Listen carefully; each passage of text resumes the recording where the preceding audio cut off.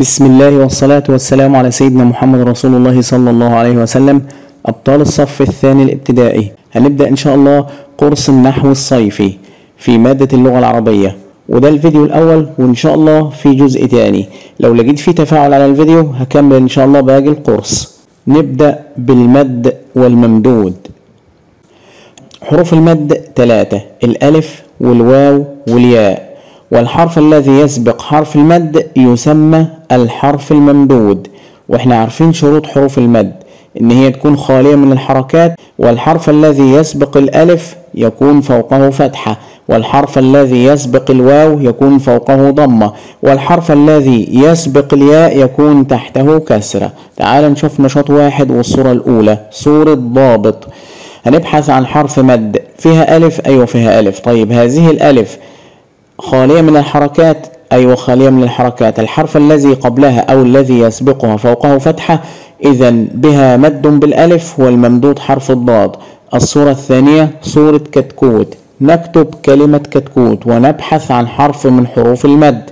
حروف المد إحنا قلنا الألف والواو والياء. فيها ألف؟ ما فيهاش ألف. فيها واو؟ أيوة فيها حرف الواو. خالي من الحركات؟ والحرف الذي قبله فوقه ضمة إذا بها مد بالواو والممدود حرف الكاف اللي هو اللي قبليه. رقم باء صورة فيل. نكتب كلمة فيل.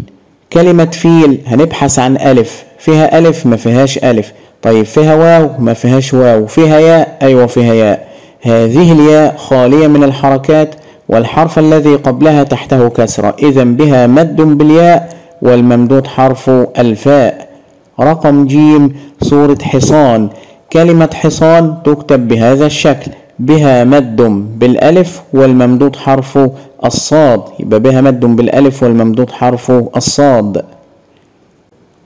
اكتب حرف المد. نشاط اتنين اكتب حرف المد والحرف الممدود لكل كلمة مما يأتي. الكلمة وهنكتب حرف المد والحرف الممدود. كلمة سماء. كلمة سماء هنبحث عن حرف المد. أحسنت بها مد بالألف والممدود حرف الميم بها مد بالألف والممدود الميم. باء كلمة عصفور هنبحث عن ألف أو واو أو ياء. بها حرف الواو خالي من الحركات والحرف الذي قبلها فوقه ضمة إذا بها مد بالواو والممدود حرف الفاء. جيم كلمة جميل. كلمة جميل بها مد بالياء. الياء خالية من الحركات والحرف الذي قبلها تحته كسرة إذا بها مد بالياء والممدود حرف الميم. الكلمة التالية ظهور. كلمة ظهور بها حرف الواو خالي من الحركات والحرف الذي قبلها فوقه ضمة إذا بها مد بالواو والممدود حرف الهاء. كلمة قطار. كلمة قطار بها مد بالألف والممدود حرف الطاء. مد بالألف والممدود الطاء. واو سريع. كلمة سريع الياء خالية من الحركات والحرف الذي قبلها تحته كسر. إذا بها مد بالياء والممدود حرف الراء. كلمة أصحاب أصحاب بها مد بالألف والممدود حرف الحاء. الكلمة الأخيرة قريب بها مد بالياء والممدود حرف الراء. النشاط التالي الشدة. الحرف المشدد أصله حرفان. الأول ساكن والثاني متحرك. مثل كلمة مدرب. عبارة عن حرفين. حرف الراء في كلمة مدرب مشدد وتحته كسرة. والحرف المشدد عبارة عن حرفين. الأول ساكن والثاني متحرك. ممكن الحركة تختلف فتح أو ضم أو كسر. ولكن هو عبارة عن حرفين. الأول ساكن. لازم يكون الأول ساكن. أيضا مثل كلمة رمان. لما ننطقها لاحظ في النطق أن الحرف المشدد ثقيل لأنه بحرفين الأول ساكن والثاني متحرك. كلمة رمان لاحظ الميم.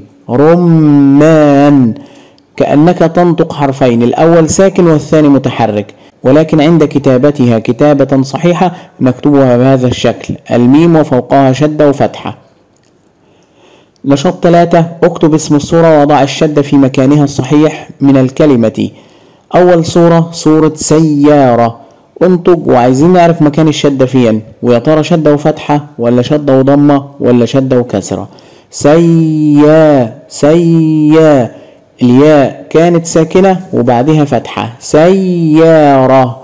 إذا الحرف المشدد الياء ومشدد بالفتح. الصورة الثانية صورة دراجة. انطق واعرف مكان الشدة. درا دراجة أحسنت. حرف الراء هو المشدد. طيب مشدد بالفتح ولا بالضم ولا بالكسر؟ طبعا مشدد بالفتح. درا الراء عبارة عن حرفين الأول ساكن والثاني متحرك. الصورة الثالثة صورة رمان. وإحنا خدنا قبل كده كلمة رمان. رمان مشدد بالفتح. الصورة الأخيرة صورة تفاح. لاحظ الفاء. تفا تف أدي الساكن. تفا والفتحة بعد ذلك. إذا هي مشددة بالفتح. رقم أربعة ضع الشدة بحركتها فوق الحرف الملون في كل كلمة مما يأتي. ممرضة. الحرف الملون حرف الراء. بس عايزين نعرف شدة وضمة ولا فتحة ولا كسر. ممري ري. آه يبقى شدة وكسرة. نضع شدة وتحتها كسرة. وممكن نضع الكسرة تحت الشدة ويبقى أيضا شدة وكسرة. صبورة كلمة صبو بو. باء مشددة بالضم. نكتب الشدة وضمة. صبو آخر صورة سيا سيارة. آه ياء ومشددة بالفتح. شدة وفتحة. اللام الشمسية واللام القمرية. إحنا عارفين يا أبطال الحروف الأبجدية حروف ألف باء 28 حرف. اللام الشمسية عايزة تاخد جميع الحروف واللام القمرية أيضا عايزة تاخد جميع الحروف. فعشان نحل الإشكال بين اللام الشمسية واللام القمرية قسمنا الحروف نصين. نصفهم أخذتهم اللام الشمسية والنصف الآخر للام القمرية. طيب إيه حروف اللام الشمسية؟ وايه حروف اللام القمرية. حروف اللام الشمسية الملونة باللون الأحمر. تبدأ من التاء. تاء ثاء. بعد كده ورا بعض. دال ذال راء زاي سين شين صاد ضاد طاء ظاء. ثم اللام والنون. أما حروف اللام القمرية الألف والباء والجيم والحاء والخاء. والعين والغين والفاء والقاف والكاف والميم والهاء والواو والياء وحروف اللام القمرية مجموعة في جملة ابغ حجك وخف عقيمه. خلي التلميذ يحفظ هذه الجملة جيدا. ابغ حجك وخف عقيمه. عشان أعرف اللام شمسية ولا قمرية هبص للحرف اللي بعد اللام. إذا كان في جملة ابغ حجك وخف عقيمه يبقى اللام قمرية. أما إذا ما كانش في هذه الجملة يبقى لام شمسية. وخلي بالك اللام الشمسية تكتب ولا تنطق. لازم اكتبها بإيدي ولكن ما ينفعش انطقها لو نطقتها تكون خطأ. طيب اللام القمرية تنطق وتكتب. يبقى اللام الشمسية تكتب ولا تنطق. واللام القمرية تكتب وتنطق. واللام الشمسية الحرف اللي بعديها لابد أن يكون فوقه شدة. لازم يكون مشدد. طب تعال ناخد مثال بسيط. كلمة لحوم. هنضيف لها ألف ولام يبقى اسمها اللحوم. كلمة اللحوم عشان نعرف اللام شمسية ولا قمرية. هنبص للحرف اللي بعد حرف اللام. الحرف اللي بعد حرف اللام حرف اللام. طيب هشوفه في جملة ابغ حجك وخاف عقيمه مش موجود. إذا هنا اللام شمسية وده حرف اللام في حروف اللام الشمسية. وخلي بال الحرف اللي بعديها مشدد يبقى اللام الشمسية تكتب ولا تنطق. اللحوم هتقول لي ده اتنطقت؟ هقول لك لا اللي اتنطقت اللي هي اللام الثانية اللي هي المشددة. اللحوم. وعشان كده لو قلنا السماء أو السمكة أو الصياد أو الضابط أو الشمس كل هذه الكلمات لا تنطق بها اللام. وحاول أدرب التلميذ على كتابة كلمات باللام الشمسية لأن ممكن التلميذ ينسى في هذه الكلمة يكتب الألف والحرف اللي بعد اللام مباشرة لعدم نطق اللام. طيب ناخد كلمة كمان كلمة جمل. هنضيف لها ألف ولام الجمل. عشان أعرف اللام دي شمسية ولا قمرية هبص للحرف اللي بعد اللام. الحرف اللي بعد اللام هنا حرف الجيم. يا ترى في جملة ابغي حج جا وخاف عقيمه أيوة موجود في الجملة. إذا هذه اللام قمرية. نستنتج مما سبق أن اللام الشمسية تكتب ولا تنطق والحرف الذي يليها فوقه شدة واللام القمرية تنطق وتكتب. تدريبات للام الشمسية والقمرية. اللام الشمسية والقمرية. اللام الشمسية تكتب ولا تنطق مثل كلمة الزرافة واللام القمرية تكتب وتنطق مثل كلمة القرد. نشاط ستة انطق اسم الصورة مقترنا بأل ثم اكتب نوع اللام شمسية أم قمرية. عشان أعرف النشاط لازم أكون حافظ جملة ابغ حجك وخاف عقيمه. لازم يكون التلميذ حافظها كويس وعارف إن دي جملة اللام القمرية. دي جملة اللام القمرية. طيب أول صورة صورة شجرة. كلمة شجرة لما نضيف لها ألف ولام هقول الشجرة. ألاحظ إن اللام ما اتنطقتش بس ده مش كفاية. لازم أعرف الحرف اللي بعد اللام حرف الشين. حرف الشين في جملة ابغ حجك وخاف عقيمه مش موجود. إذا هذه اللام شمسية. أكتب تحتها شمسية. الصورة الثانية صورة كلب.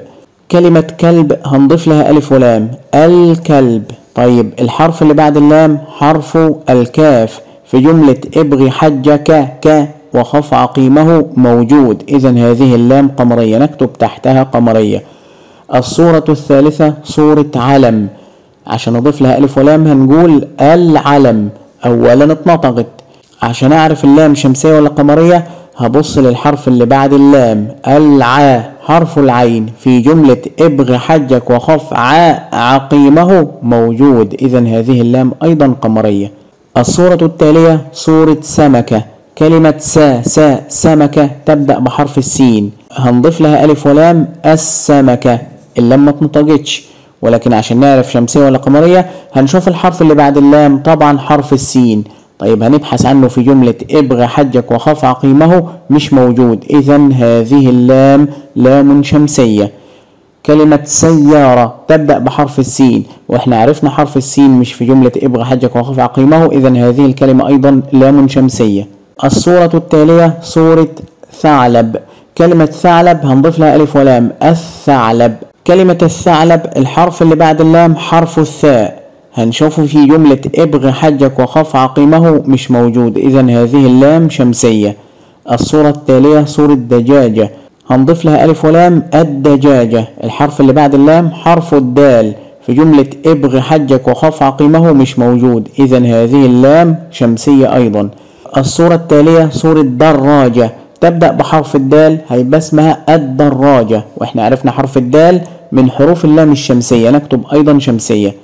الصورة التالية صورة كتكوت حرف الكاف من حروف اللام القمرية. ابغي حجة ك ك.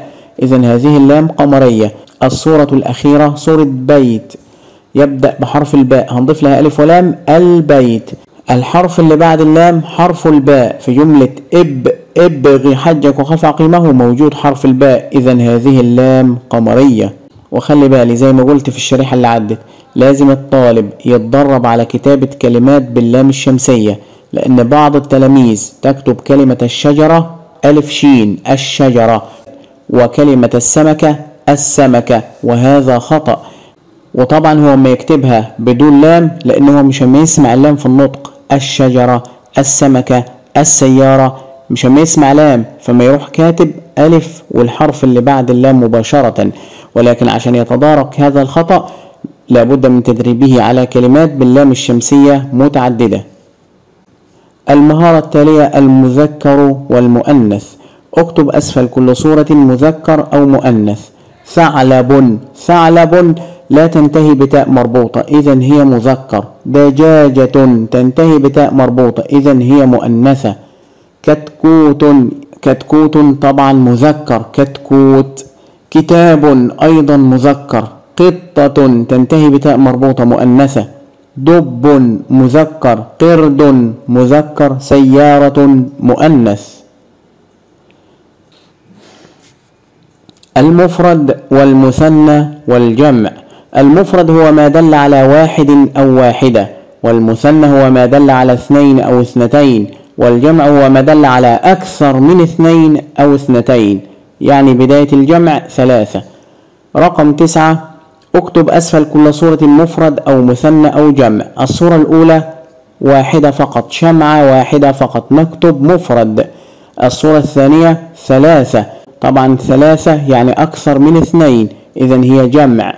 الصورة التالية شجرتان يعني اثنين. وإحنا قلنا الاثنين اللي هو مثنى. الصورة التالية صورة أقلام. أقلام لأن بها ثلاثة أقلام فإذا هي جمع. الصورة التالية واحدة فقط بيضة واحدة فقط فإذا هي مفرد. الصورة التالية كتابان إذن هي مثنى. التاء المفتوحة والتاء المربوطة والهاء. التاء المفتوحة اللي هي بالشكل ده تنطق تاء سواء في الوصل أو الوقف. يعني إيه سواء في الوصل أو الوقف؟ يعني سواء شكلتها أو وقفت عليها بالسكون. مثال كلمة حوت. كلمة حوت هشكلها. حوت تو اتنطق التاء. طيب هسكنها أو هقف عليها بالسكون. حوت اتنطقت أيضا تاء يعني تنطق تاء في الحالتين في الوقف والوصل. أما التاء المربوطة اللي هي بالشكل ده تنطق تاء عند الوصل وتنطق هاء عند الوقف. دي سهلة. طيب يعني لو شكلتها هتتنطق تاء. ولو سكنتها لو وقفت عليها بالسكون هتتنطق. هاء طب ناخد مثال. المدرسة جميلة. أخلي بالي من كلمة المدرسة. المدرسة تو تو هتشكلت اتنطقت تاء طب هقف عليها بالسكون. المدرسة اتنطقت هاء يبقى في حالة الوقف اتنطقت هاء وفي حالة الوصل اتنطقت تاء إذا هي تاء مربوطة. أما الهاء فهي تنطق هاء سواء في الوصل أو في الوقف. يعني سواء في التشكيل أو وقفت على بالسكون هتتنطق هاء طب هات مثال كلمة وجه هشكلها. وجه وجه هو اتنطقت هاء طب هقف عليها بالسكون. وجه اتنطقت أيضا هاء إذا تنطق هاء في الحالتين. تكتب هاء بهذا الشكل. نشاط 11 صل كل صورة بالحرف المناسب. أول صورة صورة وجه. عشان أعرف كلمة وجه تنتهي بتاء أو هاء هنطقها مرة بالتشكيل ومرة بالسكون. وجه اتنطقت هاء طب بالسكون. وجه اتنطقت أيضا هاء يبقى اتنطقت هاء في الحالتين. إذا هي هاء مربوطة. الصورة التالية صورة حمامة. هنطقها مرة بالتشكيل ومرة بالسكون. انطق معايا. حمامة اتنطقت بالتشكيل تاء. طب هننطقها بالسكون. حمامة اتنطقت هاء. مرة اتنطقت هاء ومرة تاء إذا هي تاء مربوطة. الصورة التالية صورة حوت. زي ما إحنا عارفين هننطقها مرتين مرة بالتشكيل ومرة بالسكون. حوت اتنطق التاء طب هنقف بالسكون.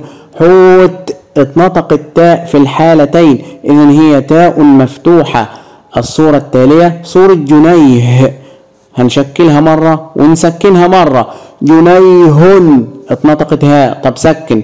جنيه اتنطقت هاء إذا هي هاء مربوطة. الصورة التالية صورة كتكوت. كتكوت. بالتشكيل اتنطق التاء طب هقف بالسكون.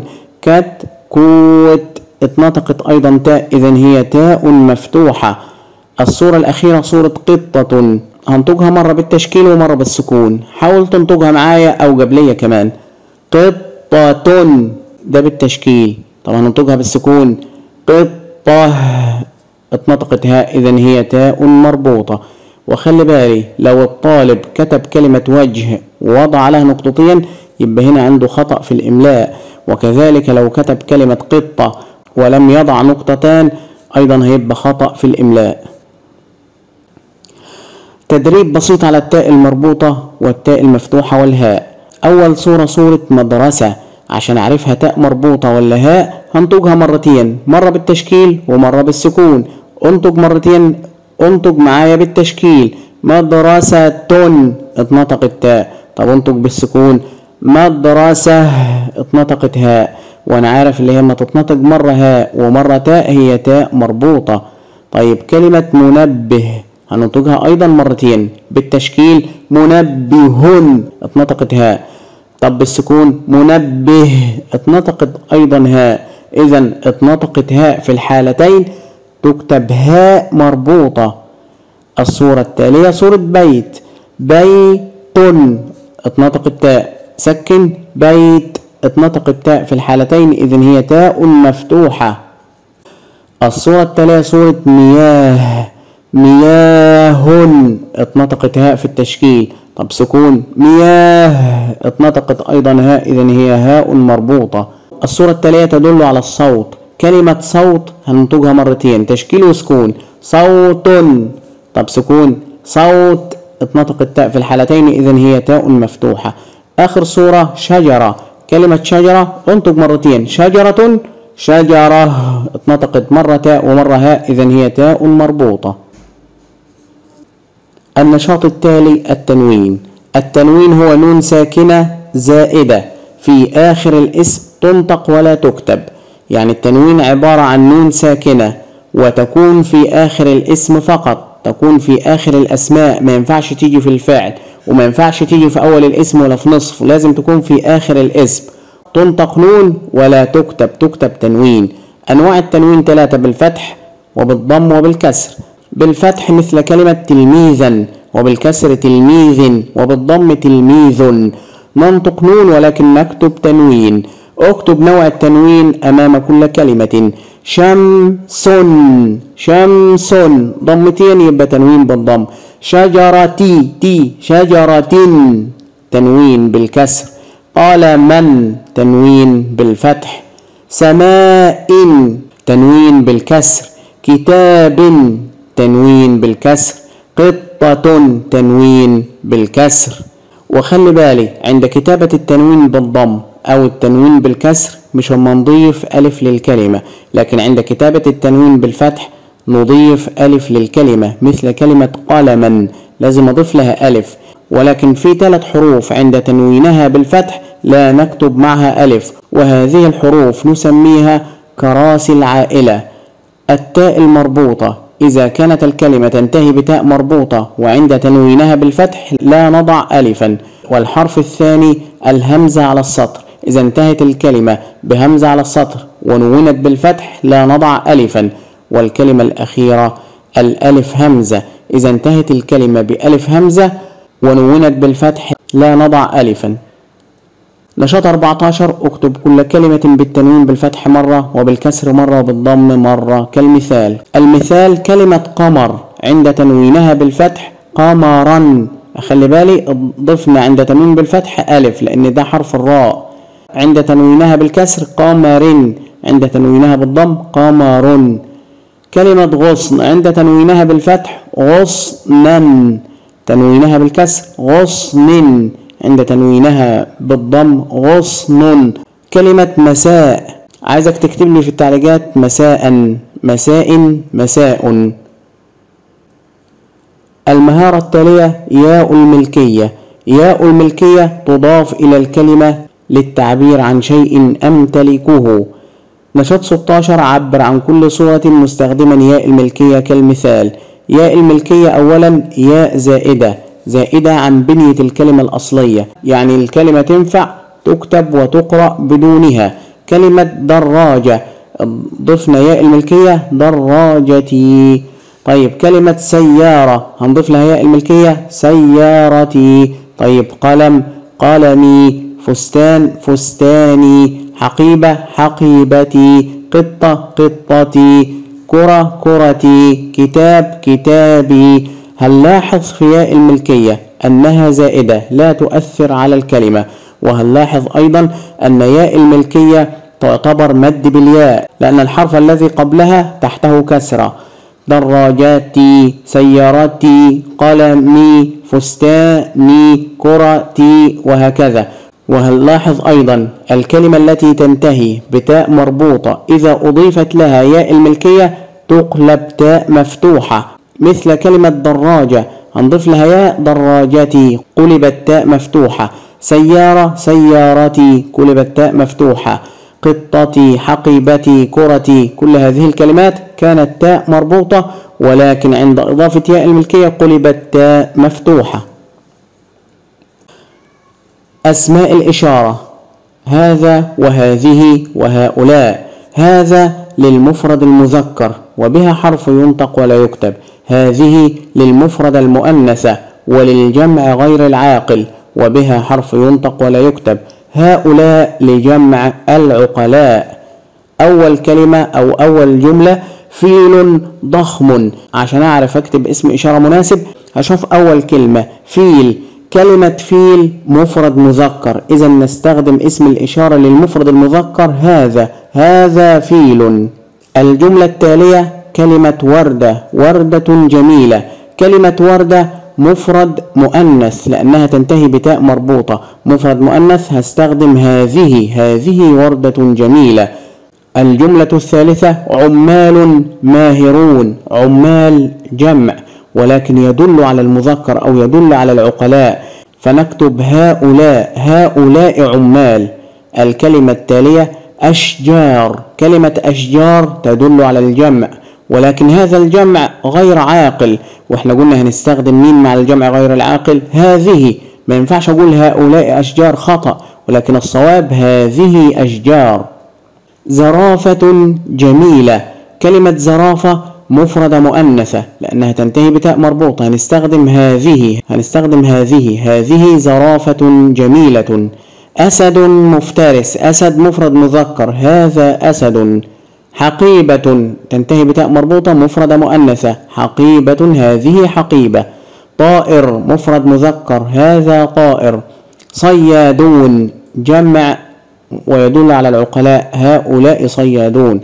أطفال أيضا جمع ويدل على العقلاء. هؤلاء أطفال. كتاب مفرد مذكر. هذا كتاب. متعاونون. تدل على العقلاء. نستخدم هؤلاء متعاونون.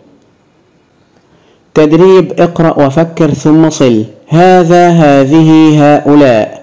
أول كلمة فصل مفرد مذكر نستخدم هذا. هذا فصل. فلاح أيضا مفرد مذكر. هذا فلاح. شجرة مفرد مؤنثة. هذه شجرة. أصدقاء جمع عقلاء نستخدم هؤلاء. هؤلاء أصدقاء. قلم مفرد مذكر. نستخدم هذا. كراسة مفرد مؤنثة نستخدم هذه أصحاب جمع يدل على العقلاء نستخدم هؤلاء قطة مفرد مؤنثة نستخدم هذه. اقرأ وصل هذا وهذه وهؤلاء. أسد زي ما قلنا مفرد مذكر هذا أسد. زرافة هذه زرافة. أطباء هؤلاء أطباء جمع عقلاء. مهندس مفرد مذكر هذا مهندس. طبيبة مفرد مؤنثة هذه طبيبة. مهندسون جمع مذكر هؤلاء. ولد هذا ولد وبنت هذه بنت. الفعل الماضي والفعل المضارع. حدد نوع الفعل. أول كلمة ذهب. عشان أعرفها ماضي ولا مضارع هشوف الفعل. يدل على الماضي ولا يدل على الحاضر. ذهب وانتهى فعل ماض. نكتبها تحت الفعل الماضي. يذهب يذهب الآن فعل مضارع نكتبها تحت الفعل المضارع. كتب ماض يكتب مضارع. رسم ماض يرسم مضارع. شرب ماض يشرب مضارع. خرج وانتهى ماضي. يخرج مضارع. ركب وانتهى ماضي. يركب الآن مضارع. التدريب الأخير هذا الفعل المضارع. كلمة أكل. أكل وانتهى. فعل ماضي ولكن يدل على المذكر لأنها لو كانت تدل على المؤنث كانت تنتهي بالتاء يعني مثلا أكلت. هنا أكل عشان نحولها للفعل المضارع هنكتب في بدايتها حرف الياء. يأكل. صرخ يصرخ. أخذ يأخذ.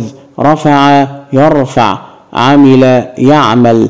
بحث يبحث فهم يفهم جلس يجلس نزل ينزل قعد يقعد. بكده إن شاء الله نكون قد انتهينا من الجزء الأول واللي جينا تفاعل على هذا الفيديو هنكمل إن شاء الله الجزء الثاني. والسلام عليكم ورحمة الله وبركاته.